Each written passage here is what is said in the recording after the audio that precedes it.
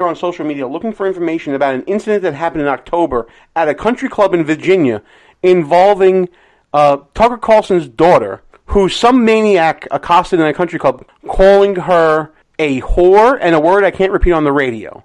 And her family found out about it, and her brother confronted this guy in the bar area of this club and threw a drink at him. Frankly, the guy got off easy, in my opinion. But Avenatti wants to find out what's going on with this, claiming that the activist, who happens to be gay and Latino, according to him, is the person that's been wronged, and therefore they need to find out what Tucker Carlson knows, when he know, knew it, and to bring this man to justice. Are you freaking kidding me, Russ? Gene, didn't Avenatti produce statements that were signed under penalty of felony and perjury, accusing Kavanaugh of the most horrific and outrageous claims of sexual assault? What happened to those women that have now recanted their stories? Why are they and him not in some kind of trouble? Why is he not disbarred? Well, he's been referred to the Department of Justice for investigation, and we'll see where that shakes out.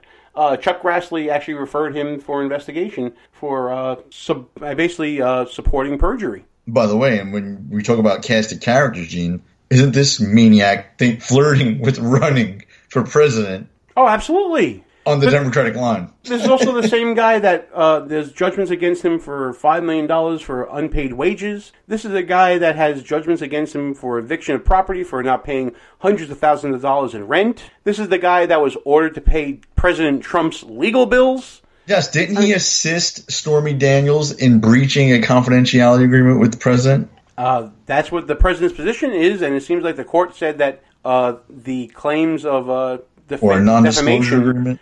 Well, that that still be litigated, but the defamation claim, the, the defamation claims were thrown out, and he had to pay the president's legal fees. Unbelievable. This guy's Yeah. a real clown. Uh, Absolutely. But uh, uh, don't just don't drop this one piece, Gene, because I I know we're going to run out of time. But the mere fact that Antifa is knocking on Tucker Carlson's door, where are we at in this country when when that's a real thing? Oh, we're we're, we're at a President we're, Trump- We're at a very bad place.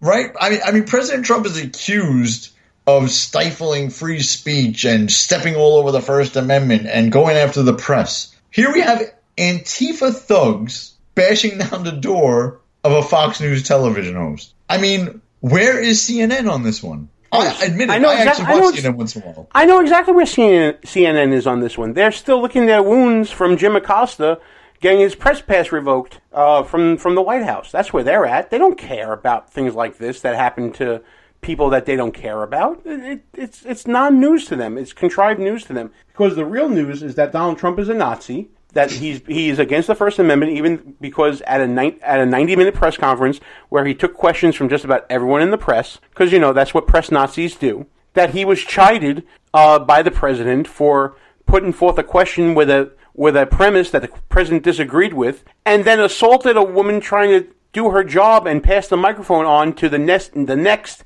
acknowledged reporter. That's where they're at. Gene, I love these games because I mean, in all reality, he didn't he didn't assault a woman, right? But I it's just think that he so funny the woman, but at the same time, here the man's got to be held accountable for his own actions. Uh, listen, of course he's got to be held accountable. And, and the main the main example I give, which is why like I love the drama of all this, if Sean Hannity had did that to an intern during the Obama administration, especially if she was like a black female intern, which would have been even better, Hannity would have been like crucified, and he would have had to make a million public apologies. So. If they want to play these stupid games, I'm all for them. Now we say he assaulted this intern, and uh, you know she's devastated. She should sue him. Black female intern, but I'm the racist. I listen. I'm just trying to paint picture. Now who's tap dancing? been, uh, and I said Sean Hannity. Imagine. Now who's tap dancing? Now who's tap dancing, Gallo? Finally got it. All right, listen, we got to shut this sucker down. Thanks for listening to the show, folks.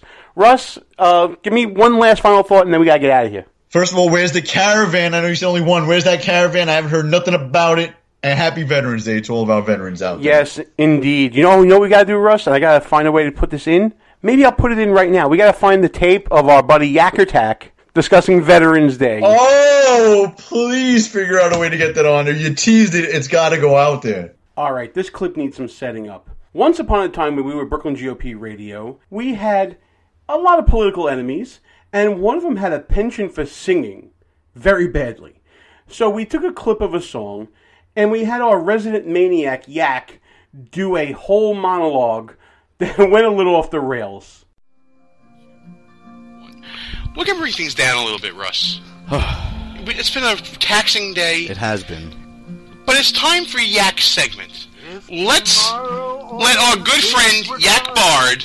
And this is my favorite segment. I know many of you too.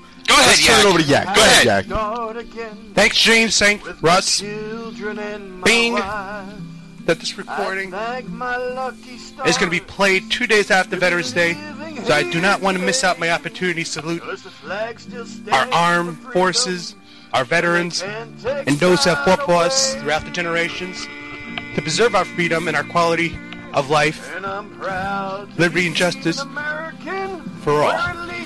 That's beautiful, Yak. And on the subject of what our armed forces do for us and for the globe, I want to salute them for doing a fantastic job in the Philippines, helping out those unfortunate souls who have lost their homes and family, and the many lives that that have been destroyed over there. I just want to see, I just want to say that I'm so proud to be an American. As are we're proud that you are an American, Yak. And God bringing it Yak. back to America, though, and when I talk about quality of life, nothing is more no quality of life would describe the quality of our health care. Okay. And as we know, we were supposed to give our president his. Yeah, we, we were supposed to take his word, a word, a lie that he has repeated 35 times at least. That's right. At least.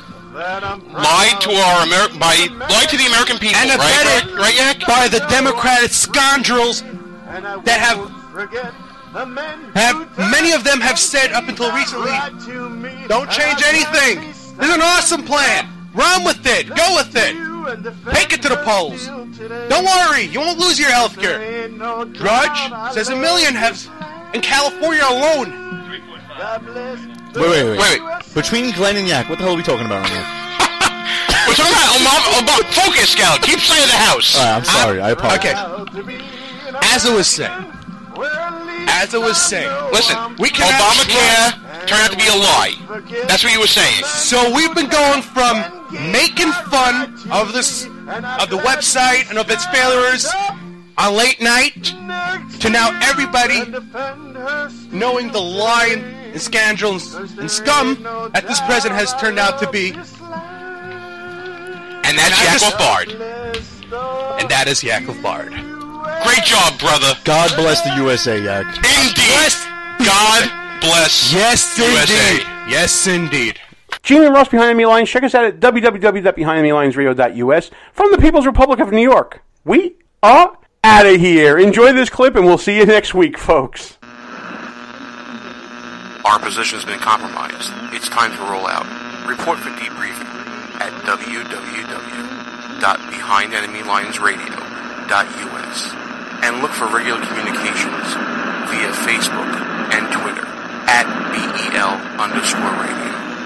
You are the resistance. Behind Enemy Lines. A rock radio production. Back in seven days. Out.